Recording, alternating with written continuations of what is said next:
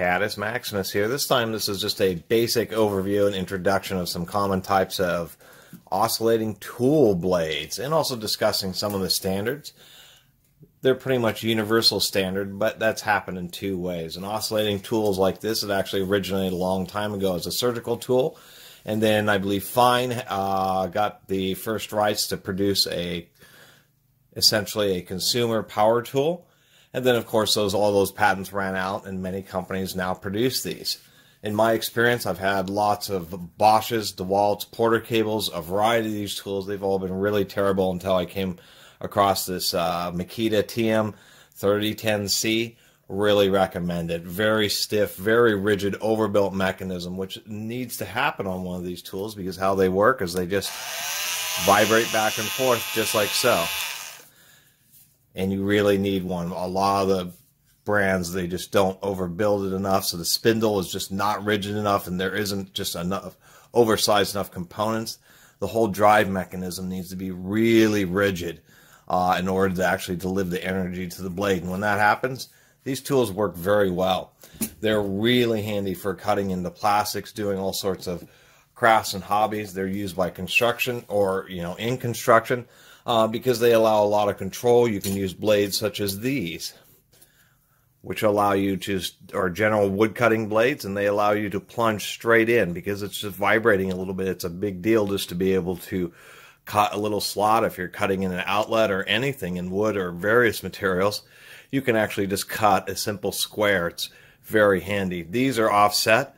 Many blades are like that. So, for instance, if you're replacing tile, or better said, replacing linoleum with some tile, then things like door trim will actually be hanging too low. Instead of dealing with trying to cut it using hand saws, you can tear up your old linoleum flooring, put a make sure the surface is clean, put a piece of the tile down, and you run one of these blades over the top of it, or you may actually run one of these big uh, circular blades. These allow you to basically cut in any direction, and you can go right along the top of the piece of tile and you can trim that piece of uh, door trim that's hanging down and it will be at the exact level. I mean, they'll have a gap that's just super tiny, like a 16th of an inch.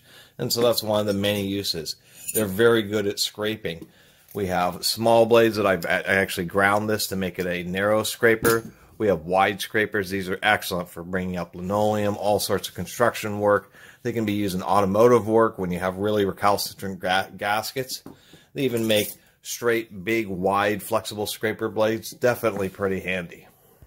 A quick uh, tip was Dremel really started popularizing, was like the first after Fein, and they had their own special drive system, and that created issues because there were different drive systems, and uh, it was hurting sales of the overall market uh, because one blade wouldn't fit on a certain tool, etc. So the two ways that they did this. One, Bosch tried to come up with what is known as this OIS system, which was just a standardized pin spacing.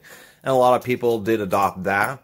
And then they realized they could do things such as this, where they could make multi-cut, a special type of cut in the blade that would support, that would work on any tool, any type of arbor, whether it was like the, the small Dremel style, the larger Bosch OIS style.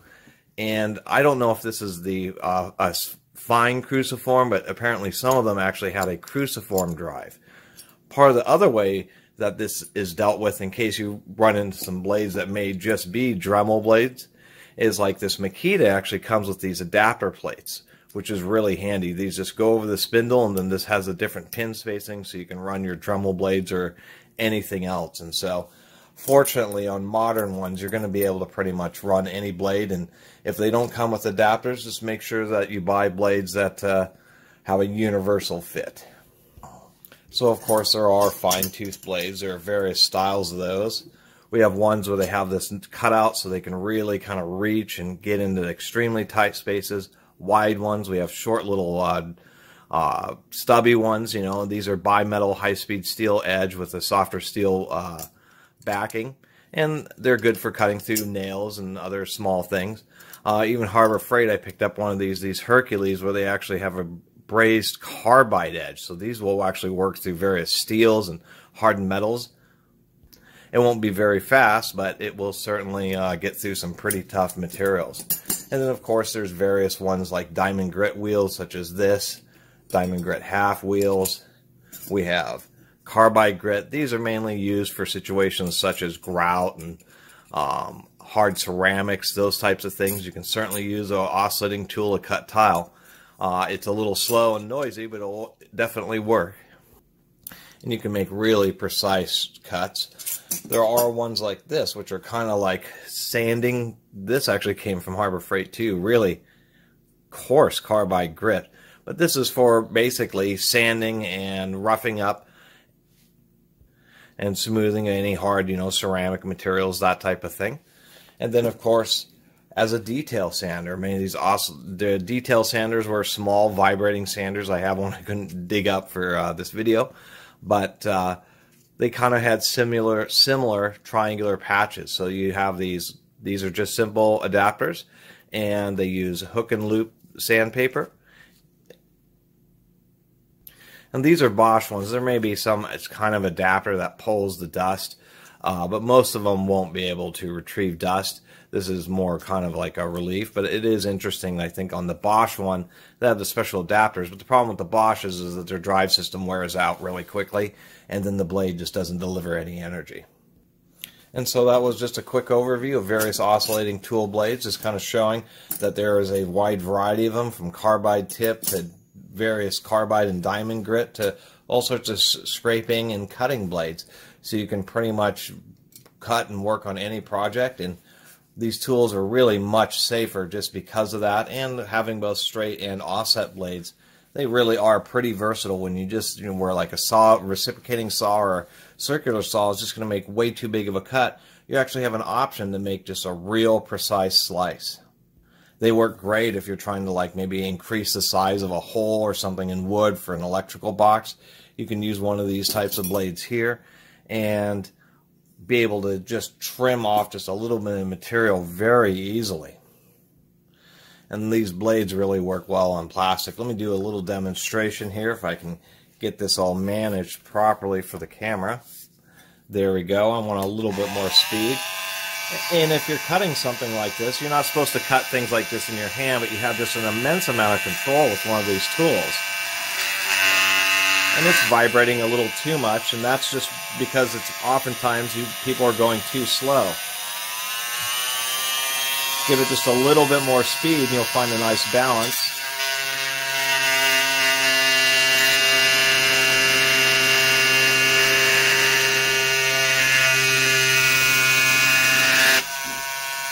And if I want to cut like a little half moon section off of this,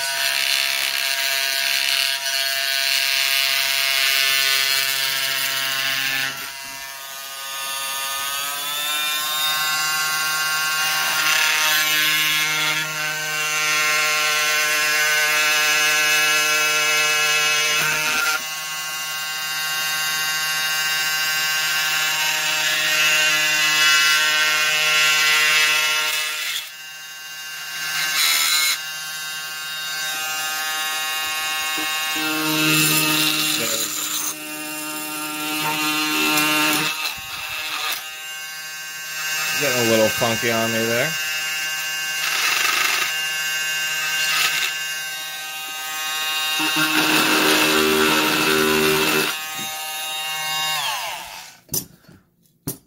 Takes a little bit of getting used to, but for instance, in this situation, if I wanted to make that type of a cut in this pretty hard acrylic plastic here, um, using a little saw and then trying to take a utility knife to cut down in there, would have required quite a bit of effort and certainly wouldn't have taken just a minute or two.